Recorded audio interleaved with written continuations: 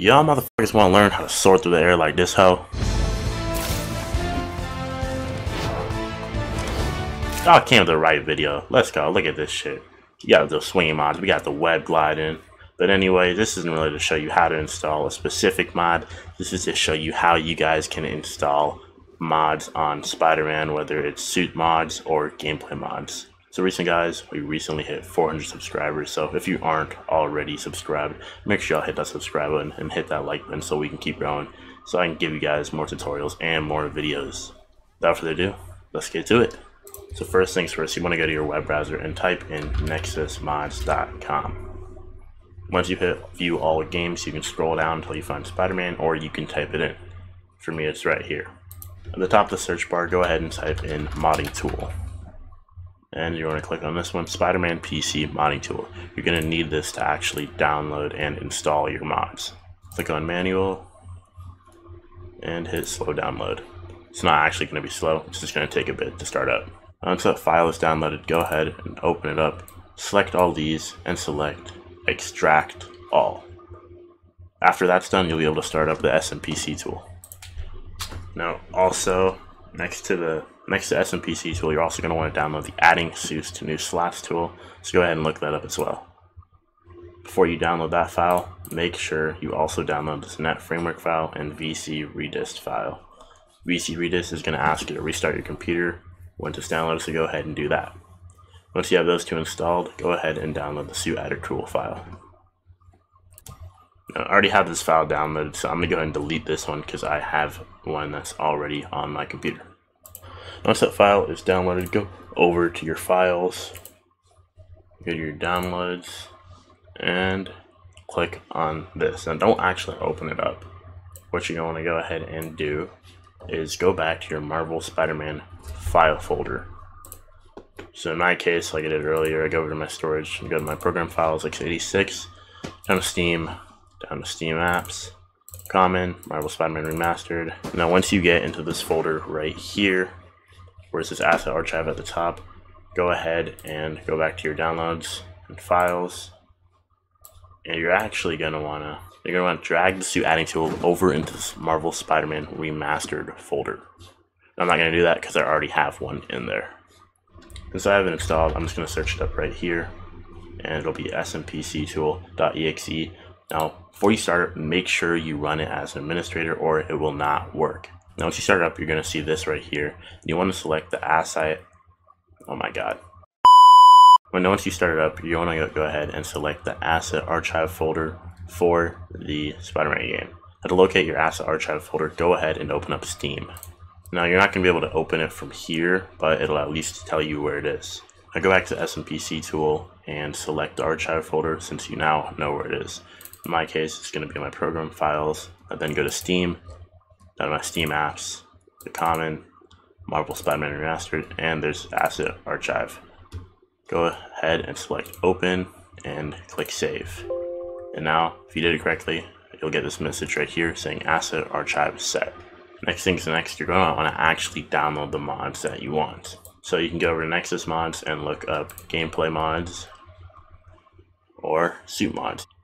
Now first of all, I'm going to teach you how you can install gameplay mods. There's two different types of files when it comes to modding this game. There's suit files and there are SMPC files, I believe. Now I'm going to show you guys how you can install the SMPC files. Now for some of the suit mods, they'll be under the suit files, but some of them will also be under the SMPC files. So first of all, I'm going to show you guys how you can install the SMPC files, which is typically what gameplay mods are under. So I personally decided to install these MCU animations. So if you want to do that, go ahead and download them right here. These are all the finishers, combat moves, air idles, and such. And my favorite, the web gliding.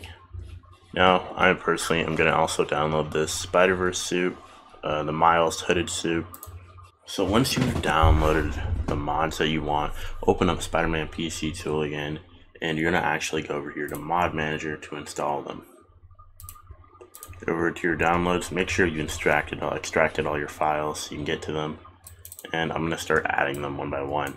Now you could probably add these all together if you put uh, the SMP .smpc mods together in a single folder, but I don't have it set up like that, so I'm just gonna add them one by one.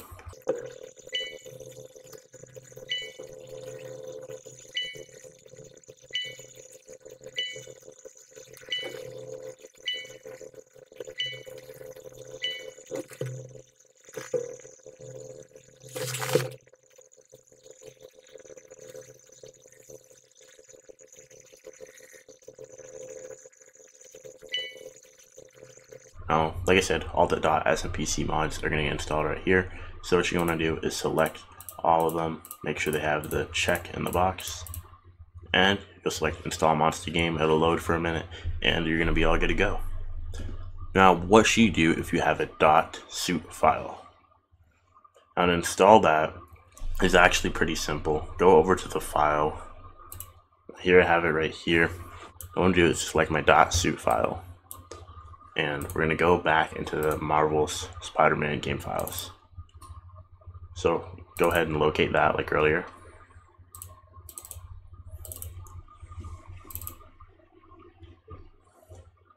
And once you're in here, go down to where you added the suit adding file.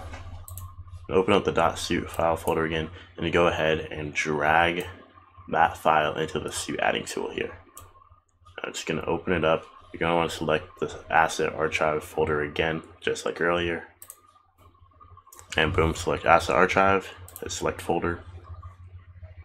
And it's going to ask you what language you're playing the game on. Go ahead and type in EN or whatever language you want. And hit enter. Now it's going to say this four times, asset with same hash already exists, A5 actually. And then it's going to say suit added successfully and hit any key on your keyboard to exit it. And now you should be good to go. Now, remember again, I didn't do this yet. Make sure you hit install mods to your game on the Spider-Man PC tool.